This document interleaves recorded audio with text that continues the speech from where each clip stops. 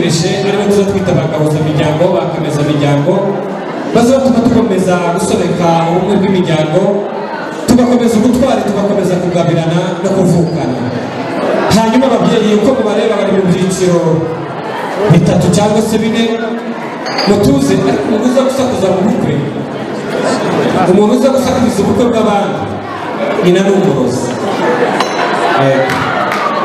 hanyuma rero nako si nyina ni we ni umurozi nyina muhoye gusa.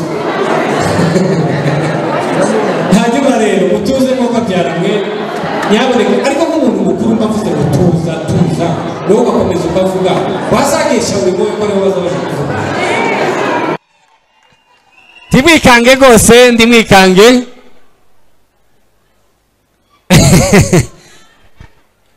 Hanyuma rero reka babibafashemo murabona yuko ntabwo bazacumba ubwanza.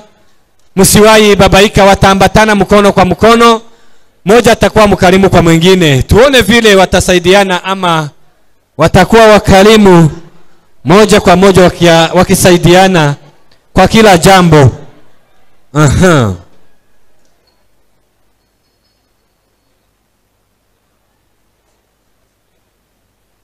reka mbasabe n'ubundi nta mfura zifungurira mu gikoni basubire hariya mu mwanya wabo baraba batengeneza mbasabe rwose mwisubirire mu mwanya wanyu muherekejwe na pare na marene.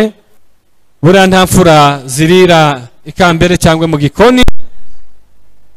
Yego.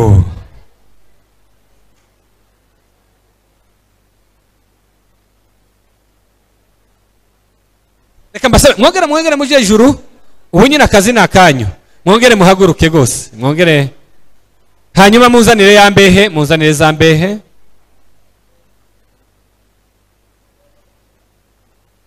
Yes. Yego. Hanyuma buri wese afite imbehe ye. Buriya manzi manzi avuye mu bugaragu. Ntazongera kwigaragura aho abonye. Ariko ubu ngubu agize aderese kabisa abaye mu tuba tuvuga kwa manzi. Hanyuma rero ma hari ukuntu wabagaho witekera wiyitaho wenyine.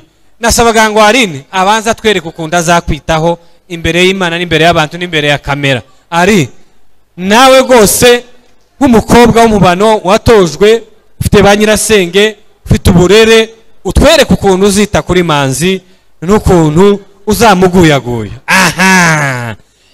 Aha! Amashyi menshi cyane! Amashyi menshi kuri yarine utamusondetse rwose ati nzakuba hafi ati kandi nzakugaburira nzaguha buri cyose.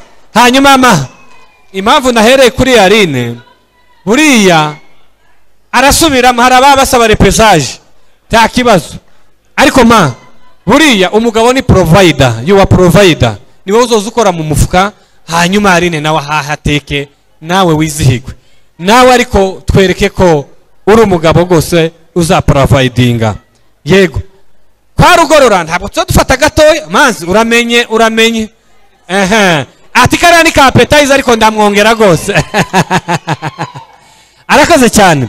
Hanyuma rero reka mbasabe mushiri iyo hasi. Fatira ikirahuri. Fatira ikirahuri. Manzi fatira ikirahuri. Marene fatira ikirahuri. Pare fatira ikirahuri. Ni ya foto? Eh nabonye hariya harimo. Ati barabongeza yego. Nta kibazo mubifate gutyo. Mubifate mubifate. Hano hari ya mbindi. Hari ya mbindi rwose.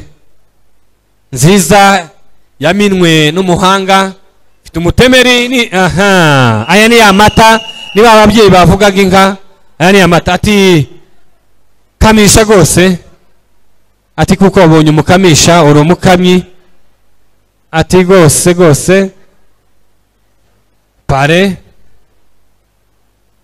Hari indirimbo bazaririmba mu giswahili ngo sinipite. Yewe naje ga ntunyime nyabuna.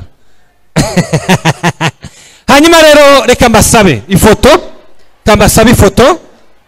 Muhuze ibirahuri mwese ko muri bane mwese.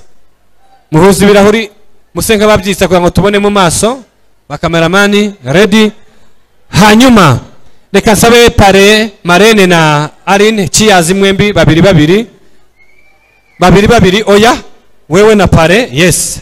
Na marene ciyazi mwanze mugumishe gaho bafotore iyo iyo foto. Hanyuma rero arine na manzi ciyazi hanyuma pare wigwaneho na marene yirwaneho. Ndabizi muri batwigwaneho mwirwaneho? Yes. Namwe ni mwirwaneho yes.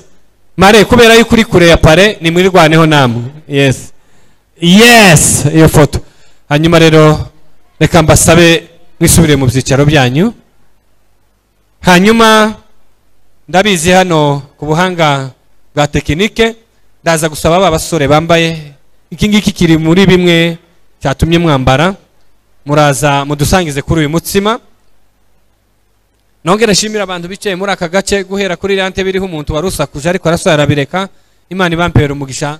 Ndabona nyine muri ababyeyi ariko muzamureka nyine abatoya nta kundi bihe byaranze cyangwa byarakunze nyine ni uko nguko byagenze. Hanyuma data unyemereye twaje mu mwanya wo gushima. Ndabizi